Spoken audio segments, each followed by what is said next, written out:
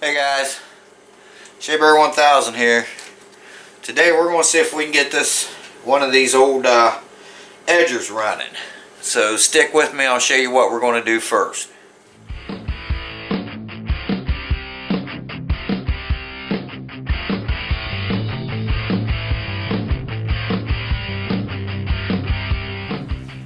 Okay guys, from the video yesterday you seen that I I bought these uh, these edgers. I bought two of them. Uh, they don't run as of right now, but I think they will run. I don't know what kind of shape they're in.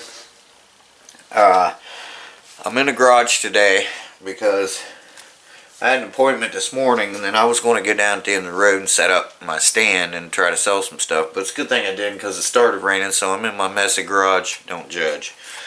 Uh, well, let's kind of, first thing we're going to do is let's see what this kind of shape this carburetor's in.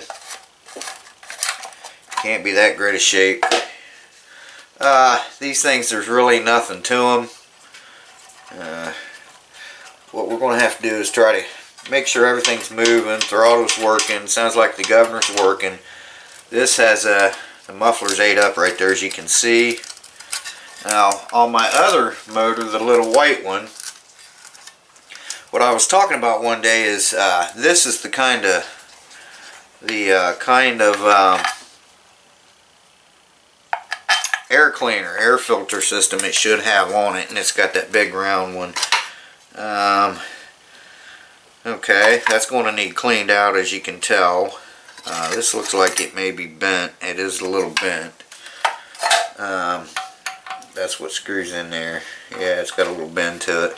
Uh, some of these you have to have a screw in here they won't run right and I don't believe this is one of them but there's the uh, that's the choke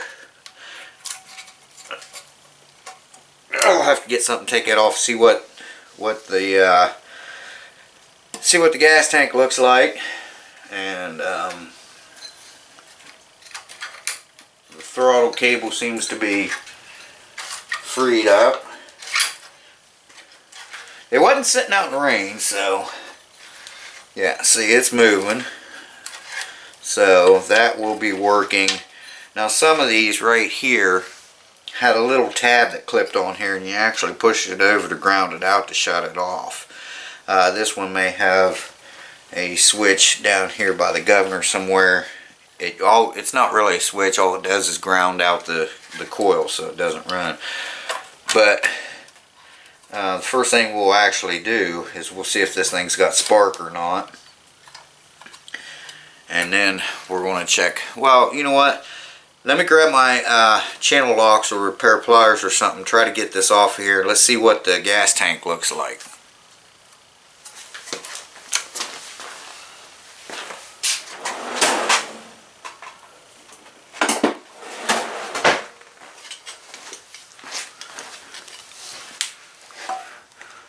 Okay guys, I've got my old beat up channel locks here. Let's see if we can get this off here without tearing it up too bad. Ah, that wasn't too bad. It was sitting, yeah, it's, it's a little rusty. I've seen worse, but I've seen better. Um, it's got a little, like a corner four gas that I'll have to drain out it's kind of turned to turpentine. You gotta see it wiggling around in there. Uh, but first, I'm gonna check it for spark and check the oil. Let me get my uh, tester so we can see if this thing's got spark and I'm gonna check the oil and I'll be right back with you. Okay, so it's got oil in it. It's full. It doesn't look that great, but it's full. Now if you don't have one of these guys, you can use a test light. If you don't have a test light, get it real close to that spark plug or any kind of metal and go ahead and pull, pull the rope and see if it's got spark. You'll see it zapping across there. Uh, I'm going to use this or get a friend to hold on to it. After he's had a couple drinks, he won't give a shit. Alright, now let's see if this lights up. If this lights up when we pull the, the rope, then it's got spark to the plug. Now that's not going to tell me if the plug's got spark or not. We'll have to pull that out. But this is just showing you how you can check this. Uh, normally what I would do is I would have went ahead and pulled the plug out and checked the plug for spark and then went backwards. But you can do it however you want to do it. So.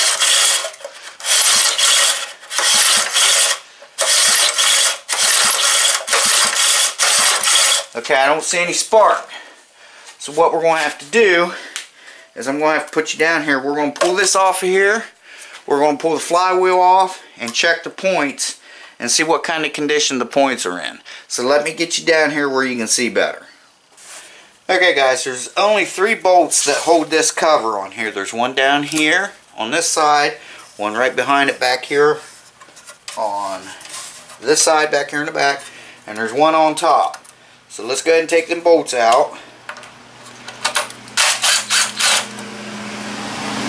Try not to lose them. They're pretty short bolts. You can get them, but I've seen guys put too long of bolts in there, and what they did was they went in and they rubbed up against the flywheel, and they thought their motor was blocked up or locked up, and so I actually got it pretty cheap.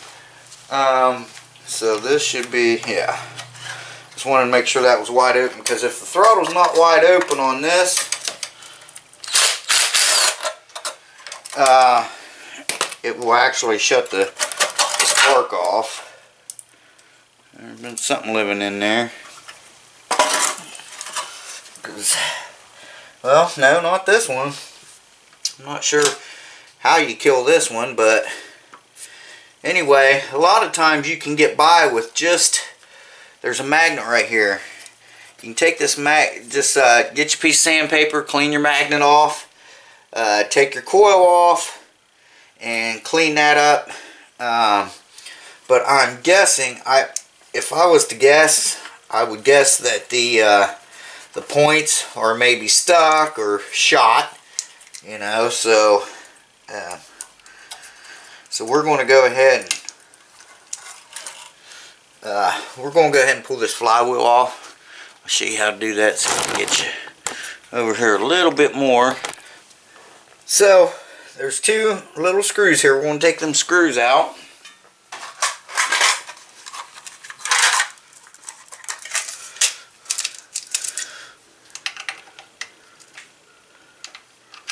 If I can find the right socket, I may not have it.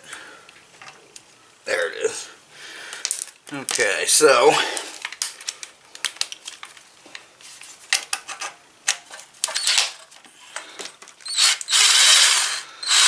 all these do here, these little screws, is just hold this uh, screen on here. Just like, uh, it just keeps the grass and that kind of thing out of it. Set these over here so I don't lose them. We may put a little grease or something in here. Now, there is a way, there is a tool that you that you can get that goes on here and twist these off. Now, I don't have one, so I'll show you what I do to get these off. Okay, I gotta use this hammer. Uh, it's not mine. I don't know. I think I left mine in back of Monkey's truck. Just take that, and put that, see that right there, down here, and just give it a couple whacks and it should. Be careful not to break any of these fins off because that's that'll that'll also knock off the balance of the flywheel and eventually you wear your bearings out. There we go. Just like that. That's all you got to do. Okay? Just like that. Now these can be finicky to get off. Okay but uh, now what you can do is you can you can actually tap on this. Now it's not advisable, but I've been doing these for years and I've never had an issue. So what I'm going to do is I'll show you how to how to take that off. Uh, you want to be real careful with this though. You don't want to screw the end of it up. Um, so I'm going to get something back here behind here and I'm going to put a little pressure on it and I'm going to give that a tap. So hang on. Okay, I'm just going to take take this and put it right right behind there and I'm going to give that a little bit of pressure.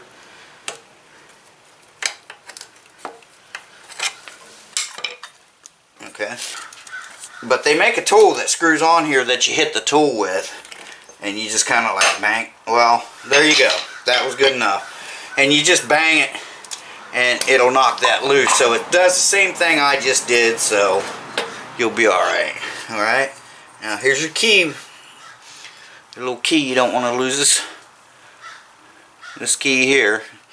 And it's, it's called keyed. It's got a keyway in there and one in here on your crankshaft. Now what we've got to do is what that does is if you hit something really hard this will this will shear off that flywheel will spin around and shear this off. It's also known as a shear pin or shear key and that way it keeps anything really super bad from happening to your engine. So now we're going to take this cover off. And right behind here, right behind here are the points. There they are right there. Okay. Now I'm going to get you down here and give you a good look at that. I know a lot of you guys already know, but for those of you that don't know, there's the points right there, okay? Now, I was going to pull that coil off, but I can sand it right here is where you want to sand your coil. Right there. Sometimes there's a piece in the middle. This one doesn't have that. But sand that there and that there. Here's the points, which they look pretty good. So I'm going to turn this and make sure they're going to open and close. Get down here. Get a light on here for you. Okay, now this should go up and down right here. Yeah, see? It's opening.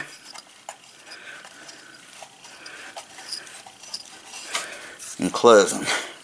Make sure that that is opening and closing. See, it just closed and open. Okay. Now I'm just going to take those points don't look bad at all. Uh, they may, may need to be adjusted. I'm just going to take my piece of sandpaper, run back and forth inside there, and um, I'll have to readjust them. But that's all I'm going to do right at the moment. And we'll go from there and, and see what we got going on, okay?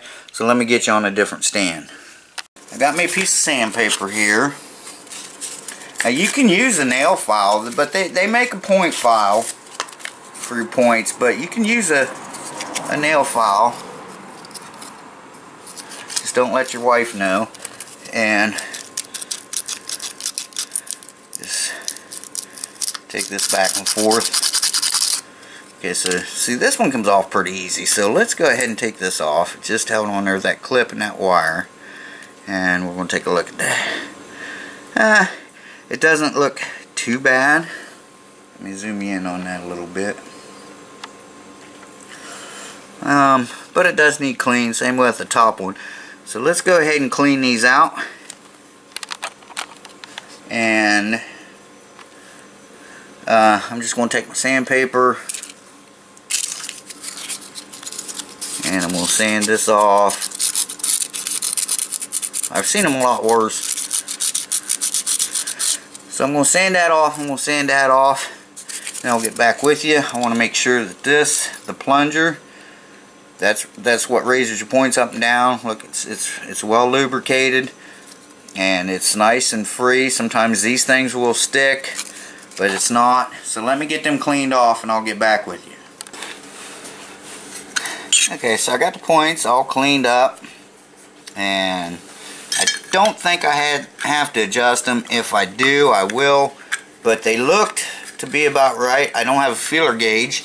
Um, what I use on that is something similar to a matchbook's a matchbook cover. And uh, I'll fold it in half and adjust them. When I adjust these, again, I just use a, a matchbook and stick in there, not folded in half. And that'll be fine. But I've got this cleaned up. I may have to adjust this, I'm not sure, but I don't think I will. I think maybe they just needed a little cleaning. Okay, so there's that. I did sand that off. Sometimes that, that could be the whole issue right there. And I did sand these off underneath here nice and the way they should be nice and clean. We're going to put this and I'm going to turn it up to the top so it don't want to fall out on us.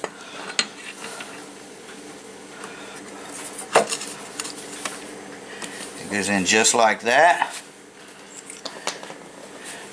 This washer don't see how it's concaved or whatever don't take it and flatten it out it's supposed to be like that because that is what keeps this tight now I'm going to stick this on here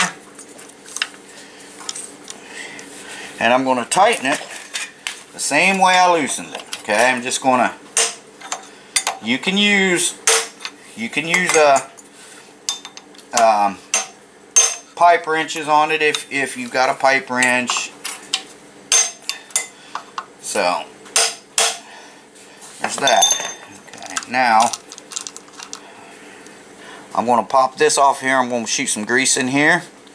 And, uh, or put some grease in it. Well, I probably should have did it when it's off because there's ball bearings on there. But anyway, uh, it feels pretty good. But anyway, sometimes these will stick on you. You don't want that. Like a ball bearing will stick up there and you go to pull it nothing happens so uh, like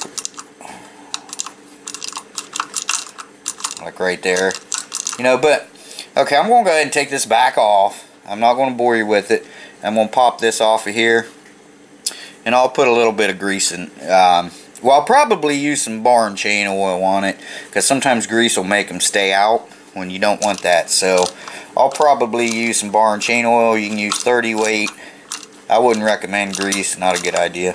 So let me get that done and I'll be back with you. I gotta make some room on my memory card too, so.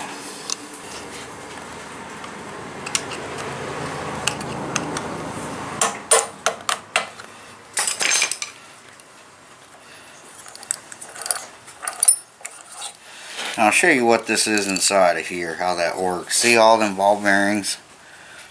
All them ball bearings in there? Okay. Now a lot of guys will tell you don't put anything in here, but I like to put a little bit of something. Uh, it don't take a lot, but I like to put something in it. So all I'm going to do is take a little of this barn chain oil, just a little bit. Which I still might be too thick. But I've used bar and chain oil in the past. It seemed to be alright. Take this and slide this off here. That's a little seal. Inspect it. This one seems to be okay. All that does is keep the dirt and grease out from there. So you're going to want to just stick these down in here.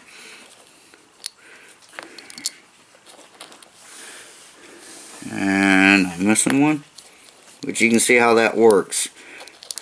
When it's running goes like that. But when you go to start it, it pulls the hmm. So this may have been off of here before because I am missing there it is. Okay. There you go. Now you're going to stick this back on. Just like that. Make sure it's uh, if you got tap on it tap on it with something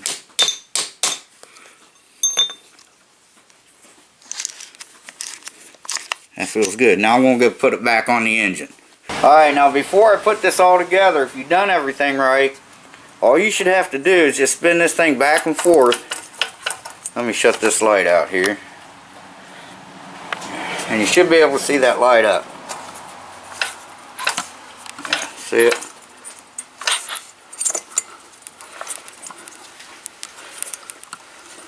Get it back over here on the magnet. I don't know if you can see it. There it goes.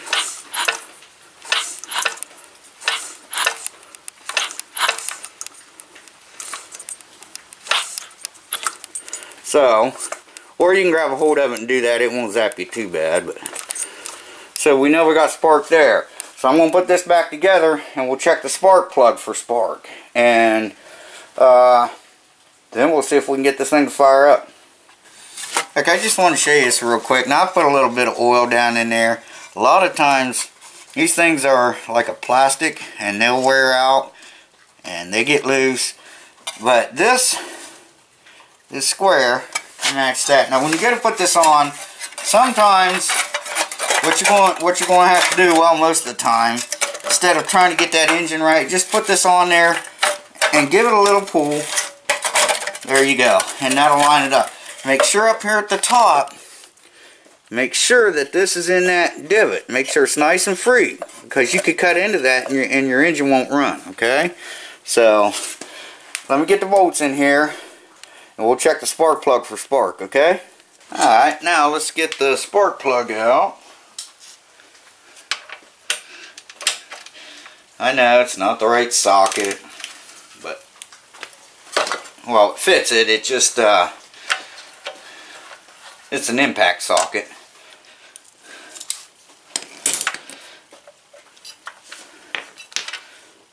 Okay, that plug looks good, man. Looks really, really good. Uh, gap's a little close, but I think I'm to see if it's got spark right now, just like that. I'm just to put that on there, and I'm going to zoom you in a little closer.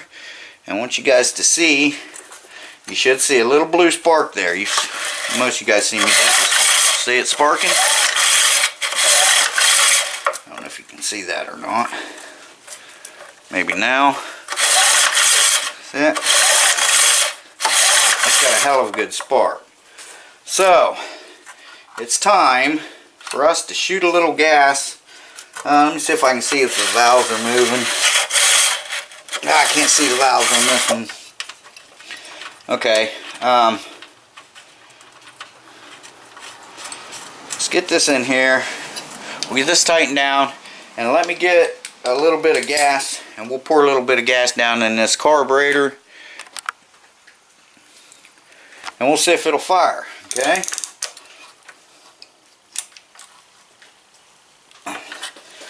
Alright. Let me grab my gas.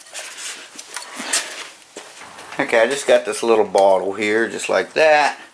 I'm going to dump some some of this gas right down here in this carburetor. And I'm going to choke it. It's a cold engine.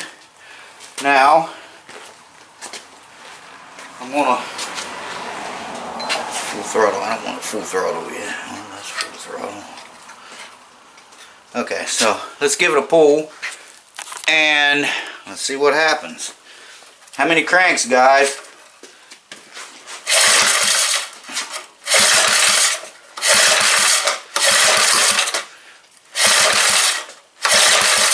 Alright, let's open the choke up.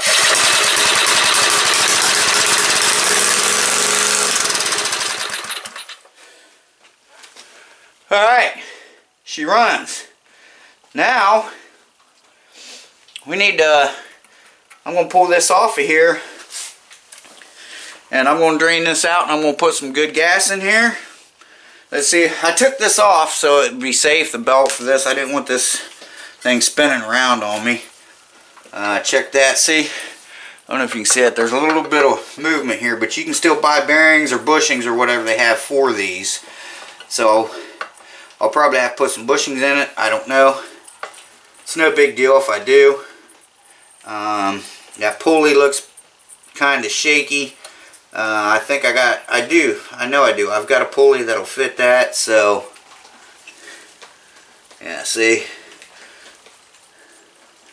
Looks like the set screw's missing out of it, so that's probably all it is. I do have a pulley, I think, that'll fit that. I'm not sure, but I know where I can get one if I need to buy one. I can't put a lot of money into it because this is for resale, but I can put a little bit into it. Okay, so let me get this off of here and um, let me pour some, get it cleaned out. All I'm going to do is dump it out, swish some gas around in it, and I'm going to put it back on, and uh, we're going to see if it'll fire up. Okay, I put, I dumped this out, I cleaned it out, well, the best I could. I think the carburetor needs clean. So let's go ahead and take this carburetor off of here and we'll see what kind of shape it's in because it will run when you pour gas in it and it only runs till it runs that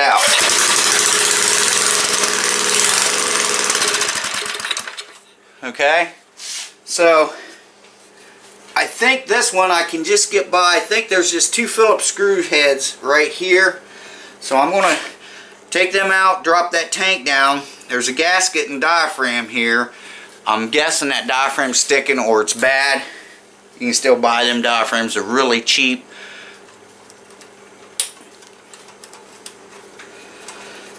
What they do is they get old and stick. Sometimes you can just keep doing that and they'll actually free themselves up. But most of the time they won't. But uh, they get they get dried out. Um, but you know, anything's worth a shot, right? And there you go. Now, this should pull out of here like that. Okay. So there's the gas tank. Alright. Now, I'm just going to look up under here. This does not have a diaphragm in it. So let's go ahead and pull this carburetor off. It's easy enough. Uh, see. I'm going to take take this off. There's a little screw here. Do not lose this screw. Okay. Alright, so take this screw off of here. Just like that. Because if you lose it, you'll lose that special washer. See, that's a special washer on there. So what I usually do is I'll stick it back in the hole that it came out of because all that does is hold that so you don't have to worry about getting in there and cleaning anything.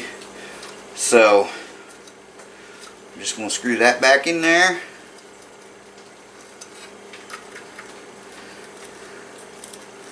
Just so I don't lose it. Make sure I don't lose my arm either, so I'm going to go ahead and take that off. That little arm. So, it goes like that. Now, see this has a, like a Alright, we'll take this one out. The bottom one does have a bolt in it. These things are real simple, guys. So this one does not have the diaphragm on it. So, there's a little bolt right down there at the bottom. I may be able to get it with this. Nope. Alright, let me grab my wrench. Looks like a 3 8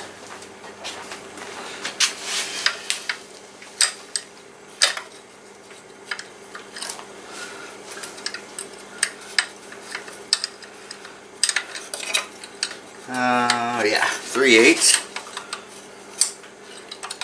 One thing about them mufflers though, man, them things are a pain to get out sometimes when they've been in there that long.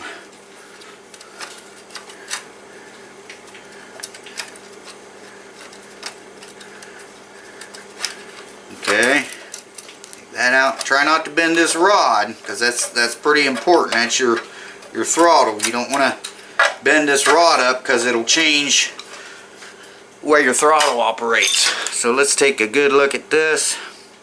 A lot of times these screens here, they'll get plugged up. It's just a little screen. It doesn't look too bad. Um, really the only adjustment on here is this right here. So I'm going to loosen that up. Think that's a 7 16th.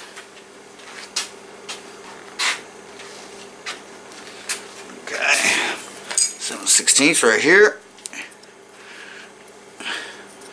We'll take this out and see what it looks like in there. And there's a little jet inside there that gets plugged up. Right down in there. See that hole? And I got a battery light blinking. So what I'm going to do guys, that's all there is to taking this one apart. This one does not have, I was thinking of the newer style that has the, um, that has the diaphragm in it. This one does not. So I'm going to take this out and I'm going to set it in my cleaner. I'm going to clean my bench off. We'll take it on the bench and uh, we'll check everything out from there. Okay? So let me get you on the charger and I can see that hole right there. There's a little hole in this. It's plugged up. That's probably the only problem with it. But let me get you charged up and let me check this out and we'll go from there. Now I don't have an ultrasonic cleaner guys but I can tell you right now that this this jet here is clogged.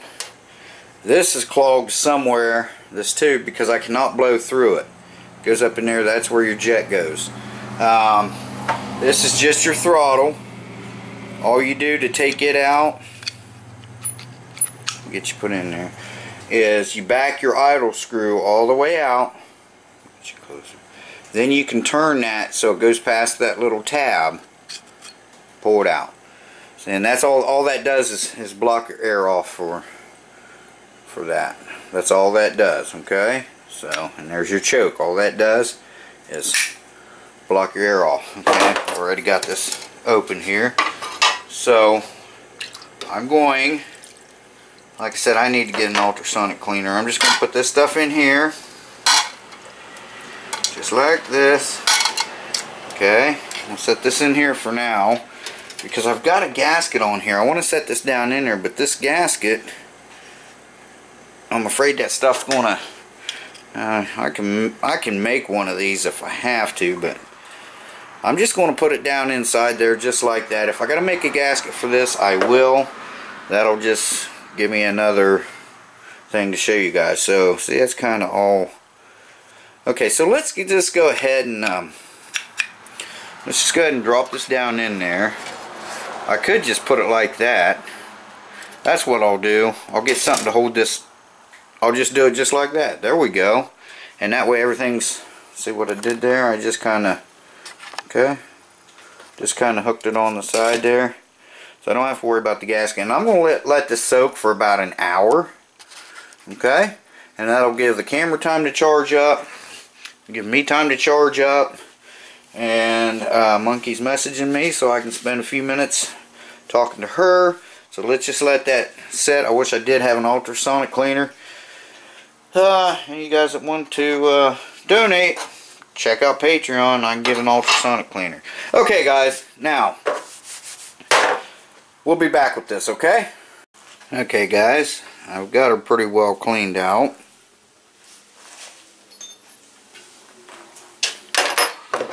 So, we're going to put I can blow through it now. We're going to put I had to take this tube out. These things are a pain in the ass to get out. Usually they're harder to get back in. But this one I just took a pair of pliers and wiggled it back and forth. Finally it pulled out. It's just a press fit okay so first thing we're going to want to put this in our jet it was clogged and I used this little tiny drill bit to help me unclog it well, plus I let it soak, you know, for about an hour. So, just put that in there and screw that back in.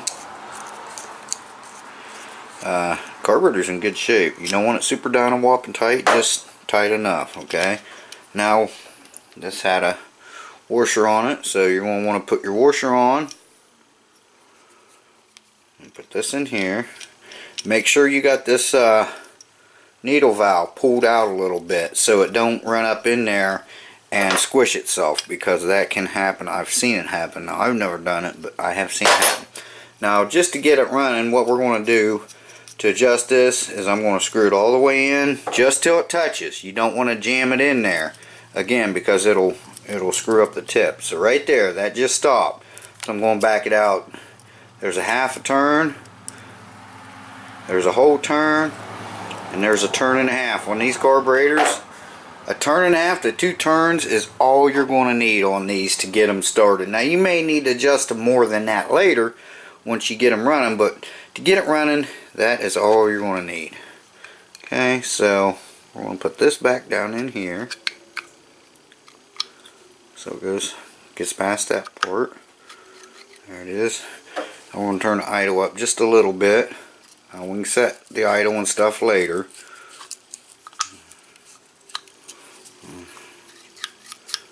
Okay, so something like that, just so this is not going to fall out on you.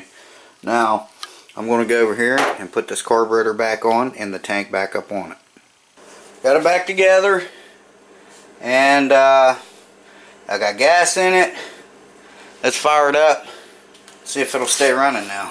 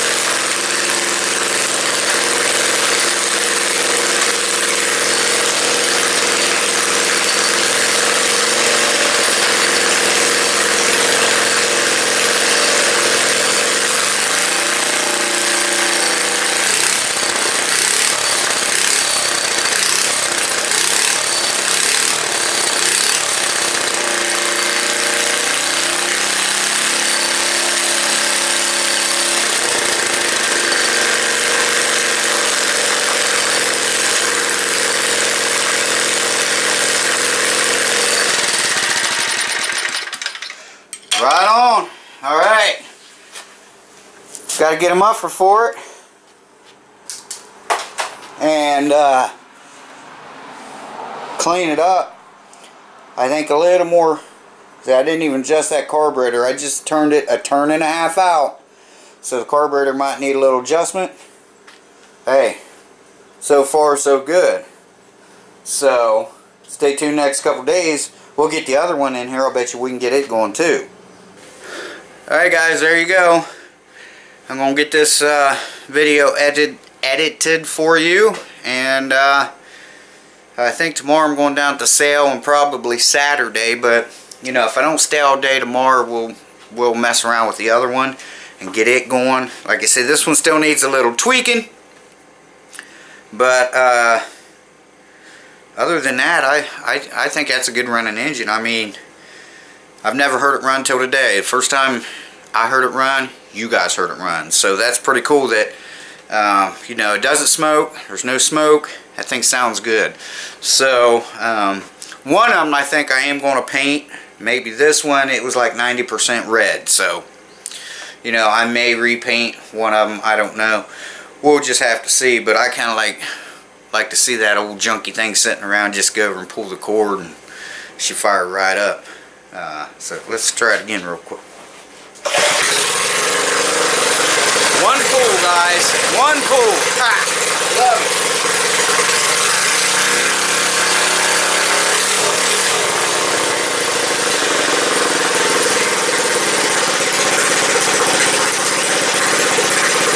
Run like a new one. Right on.